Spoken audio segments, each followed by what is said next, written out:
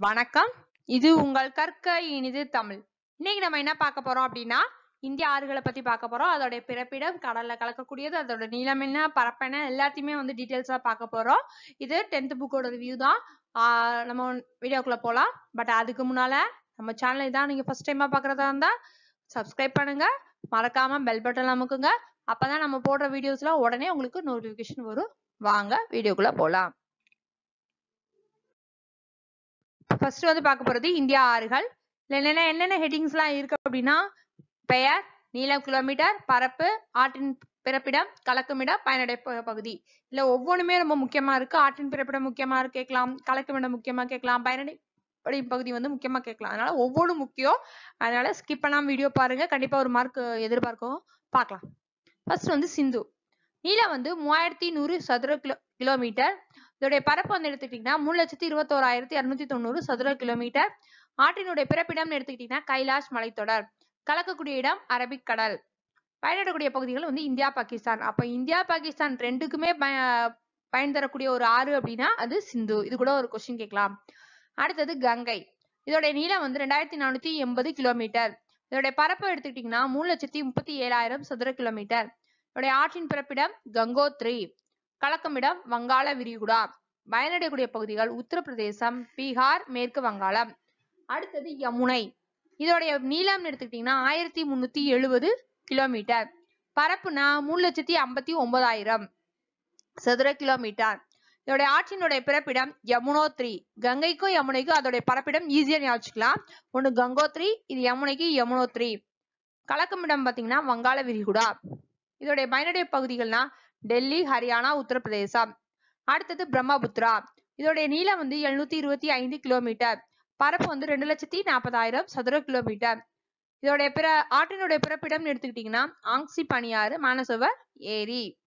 கலக்கமிடம் வங்காள விரிகுடா. இதனால் பயனடக்கூடிய பகுதிகள் வந்து என்னன்னா வடகிழக்கு மாநிலங்கள். ஃபுல்லாமே வந்து இருக்கும்.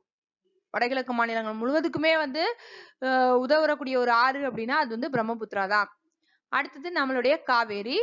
இதோடைய நீளம் வந்து எண்ணூறு கிலோமீட்டர். பரப்பு வந்து எண்பத்தேழாயிரத்தி தொ தொண்ணாயிரம் சதுர கிலோமீட்டர். ஆறினுடைய பிறப்பிடம்னா குடகு மலை இது கலக்குமிடமும் வங்காள விரிகுடா. இதனால் பயனடக்கூடிய மாநிலங்கள் நமக்கு எல்லாருக்கும் தெரிஞ்ச கர்நாடகம் மற்றும் தமிழ்நாடு. ஓகேங்களா? அடுத்தது கிருஷ்ணா. கிருஷ்ணா எடுத்துக்கிட்டோம்னா இதோடைய நீளம் வந்து ஆயிரத்தி நானூறு கிலோமீட்டர். பரப்பு வந்து ரெண்டு லட்சத்தி ஐம்பத்தொன்பதாயிரம் சதுர கிலோமீட்டர்.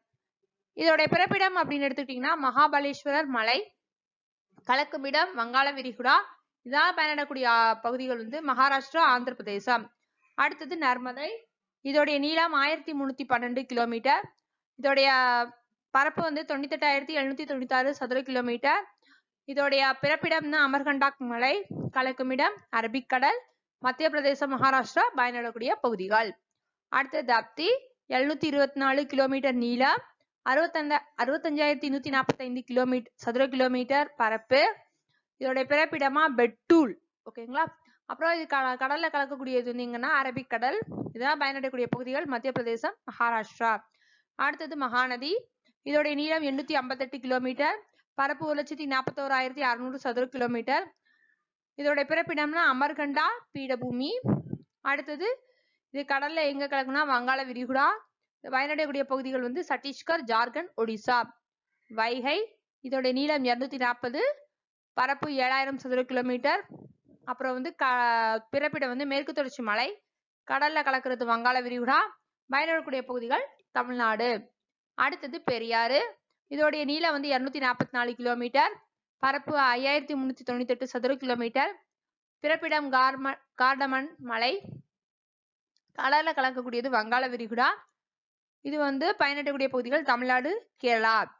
தாமிரபரணி இதோடைய நீளம் ஒன் டூ த்ரீ நூத்தி இருபத்தி மூணு இதோடைய பரப்பு வந்து என்னன்னா நாலாயிரத்தி நானூறு சதுர கிலோமீட்டர். இதோடைய பிறப்பிடம்னா அகத்தியர் மலை கடல்ல கலக்கக்கூடியது வங்காள விரிகுடா. அப்புறம் இதனால் பயனடக்கூடிய பகுதிகள் தமிழ்நாடு. அடுத்தது துணையாறுகள்னா என்ன கிளையாறுகள்னா என்ன டெல்டானா என்ன களிமுகம்னா என்னன்னு பார்க்கலாம்.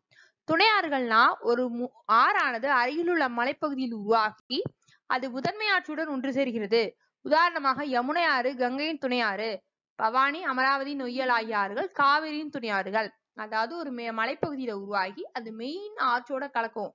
அதுதான் வந்து என்னன்னா துணையாறு இங்கிலீஷ்ல ஞாபகம் ட்ரிபியூட்ரி ஏன்னா அது கூட கேட்கலாம். அப்போ க- யமுனை ஆறு கங்கையோட துணையாறு காவேரி துணையாறுகள் எதெல்லாம் அப்படின்னா பவானி அமராவதி நொய்யல். ஞாபகம் பவானி அமராவதி நொய்யல். அடுத்தது கிளையாறுகள். ஒரு ஆறு அதன் கடைப்பகுதியில் கடலை செய்கின்ற பகுதிகள் முதன்மை ஆறானது பல கிளைகளாக பிரிந்து கடலில் கலக்கிறது. உதாரணம் ஹூக்ளி ஆறு. அடுத்தது டெல்டா. ஆற்றின் முகத்துவாரத்தில் காணப்படும் முக்கோண வடிவிலான வண்டல் படிவுகளை டெல்டா என்கிறோம். கலிமுகம். ஆற்று முகத்துவாரத்தில் ஓதங்களின் காரணமாக ஆற்றின் நல்ல நீரும் கடலின் உப்பு நீரும் ஒன்று சேர்கிறது. இப்பகுதி டெல்டோபால் இல்லாமல் ஆழமாக இருக்கும். உதாரணம் நர்மதை மற்றும் தப்தி ஆற்றின் கலிமுகங்கள். அதாவது ஆற்றோட நல்ல நீரும் கடலோட உப்பு நீரும் கலக்கும். ஆனா இது வந்து நல்லா டெப்த் ஆழமா இருக்கும். ஃபார் எக்ஸாம்பிள் நர்மதை மற்றும் தாப்தி ஆற்றோட கழிமுக பகுதிகள். இந்த வீடியோ உங்களுக்கு பிடிக்கும்னு நினைக்கிறோம். இந்த வீடியோ பிடிச்சிருந்தா கண்டிப்பா லைக் பண்ணுங்க ஷேர் பண்ணுங்க. மறக்காம நம்ம சேனலை சப்ஸ்கிரைப் பண்ணுங்க. நாளைக்கு இன்னொரு வீடியோவோட வரோம். தேங்க்ஸ் ஃபார் வாட்சிங்